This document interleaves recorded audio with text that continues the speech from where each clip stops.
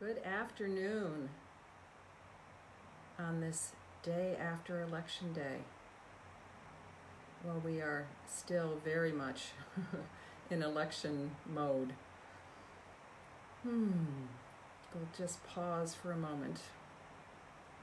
And just if you've been zooming all over the place today, like I have, fortunately, a good part of the day with my granddaughter, who now is being entertained by her grandfather this is a place that we come to really sink into our divinely feminine wisdom.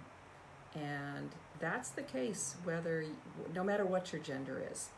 And I just was just um, interviewed a, a, little while ago for um, the, our show, our benefit that we're doing this weekend um, for the Fourth U Artibus, um, called Radical Voices, the Otherness of Feminism. And the conversation that we were having was what it means to talk about the divine feminine. And yes, each week I bring, I welcome in a different goddess. Sometimes they're very clear, like this week was very clear who I wanted to, to invite. Some weeks they kind of knock on my on my heart, on my psyche, and say, "Me, me, we want to talk."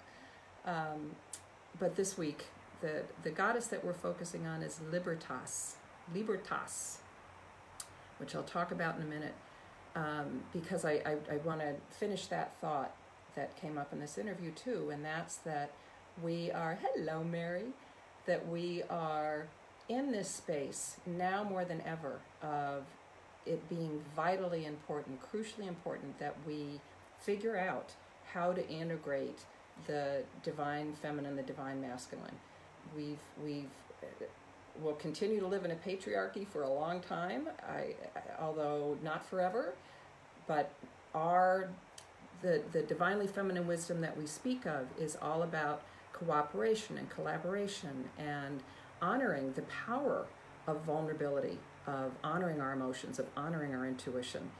And so that's none of those things are weaknesses. They are actually great strengths. And likewise, when we talk about honoring the divine masculine, that's using our brilliant brains to be able to strategize, to look at things logically and clearly, to communicate clearly. So it's you know it's kind of the left brain right brain combination when we talk about the divine feminine and, and the divine masculine, yin and yang. So, what, and particularly right now, in the throes of this very intense, very powerful week that we are in the midst of in, in our country, the, of course, who would show up to want to be highlighted but Libertas, who, of course, I'm sure most of you know, is what the statue of who the Statue of Liberty is based on. But she, she actually is a Roman goddess from several thousand years ago. And as you might expect, she was um, her her message was all about liberty and personal freedom and and our rights, our civil rights, um, and and talking about what it means to be a free person and what it means to I'm looking at some of the things that I had so much fun really diving into her freedom from restraint um, signified freedom of action so very in independence, all these things that uh, upon which our country was was founded. And interestingly enough, the this was a, a bit of of uh, Libertas, Lady Liberty information that I didn't know. That Washington, we know of Washington D.C. is known as the District of Columbia. Columbia is actually the personification that the founding fathers. It was a, a, a personification of the divine feminine. It, it was a goddess figure because our founding fathers, a good number of them, were all Freemasons, which was, and apparently still is, a fairly um, closed fraternity. But they they really took on what it meant to uh, to walk through life with morality and integrity, and had very secret rituals and all that. But they chose and it's what the they they constructed Washington D.C. District of Columbia, the goddess Columbia, the goddess Libertas, as as this um, foundation of divinely feminine energy. It's basically a sanctuary for Freemasonry, And the word that I loved, let's see if I can find it. Um, it's a huge Masonic shrine, which is such an interesting thing to play with. So I, I encourage you to do your own kind of um, looking around that. I'm giving you sort of the left brain, the the the masculine side of what it is that that we're the the energy that we're playing with today, and with the bringing in the goddess, bringing in Libertas, she um, she is who the here's a little picture of Libertas. She's one of the statues I don't have. Um, looks like a Greek, or I'm sorry, a Roman goddess, does she not? And of course, I don't really need to show you this, but you know what the Statue of Liberty looks like. And she, the Statue of Liberty is based on the Roman goddess Libert, Libertas. And as I said, she represents all those things that we know to be um, sacred to our country um, and which we are in the process of reclaiming, I like to think. And it was what I love about that, you know, both those those pictures show you that she is holding her Liber, Libertas and the Statue of Liberty are holding the fire of freedom is what it's called. The Statue of Liberty, if you've ever if you've ever visited it, I live in New York City, so I'm right there, though I haven't been in, in several years. Uh, she is she has broken chains at her feet, which represent the freedom from tyranny. Um, there's so much symbolism. She's holding a tablet that has July 4th on it. So she's all about freedom. She's all about those qualities, those that morality, all of the, the foundational tenets that our country was based on and that we are reclaiming. We as as we speak. I am I, I can only be I can only be sure that we are. There was also, and I found this was kind of interesting, there was also an Egyptian goddess of liberty with a name, um, it's T H M E I, and apparently is pronounced um, Thema, Thmea, Thmea, that's what it is. And she was the Egyptian goddess of freedom, justice, honor, divination, that's fun, balance, equality, foresight, morality.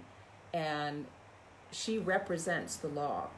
So all of this, and really it's part of what the Freemasons were about too, was standing by the letter of the law.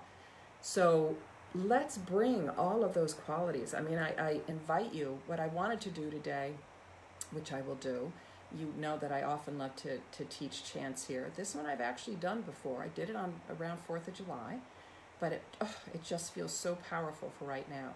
I invite you just for a moment to wherever you are to just sit and close your eyes for a moment to picture whatever your image is in your mind's eye that fire, that torch of freedom. Let that light shine. Imagine yourself as her. Imagine an image of her, shining that in all the dark places that exist right now in our country, in the world. Shining the light of liberty, the light of personal freedom, the light of communal and global freedom so huge for us right now. Think about the qualities that you want to embody now in the days and the weeks and the months ahead. Think about what ways you can support the movement of truth to power, speaking truth to power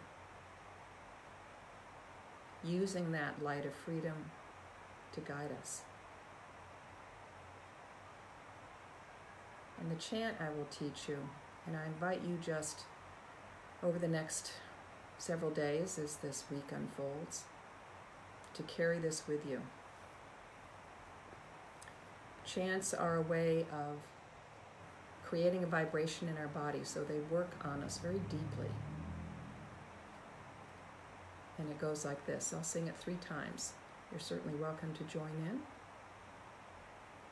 We can rise with the fire of freedom. Truth is the fire that burns our chains. We can stop the fire of destruction. Healing is the fire running through our veins. We can stop sorry, we can rise with the fire of freedom. Truth is the fire that burns our chains. We can stop the fire of destruction. Healing is the fire running through our veins. We can rise with the fire of freedom. Truth is the fire that burns our chains. We can stop the fire of destruction. Healing is the fire running through our veins. So I invite you to take your own torch of freedom your own fire of liberty within and let it shine in the world. Whatever's going on around you, whatever is swirling in the ethers and, and presently on the ground around us, hold your own light of freedom. Hold your own truth, your own intention for healing, for yourself, for this country, and move forward carrying your own light, your own torch of freedom. And come back and sing that song with me. I'll end singing it one more time through and then go forth and carry your torch of freedom forward. We can rise with the fire of freedom. Truth is the fire that burns our chains. We can stop the fire of destruction. Healing is the fire running through our veins. That's it. Thank you so much for being with me. Namaste. Walk through this week with truth and power, light and freedom. Until we are together again. Bye for now.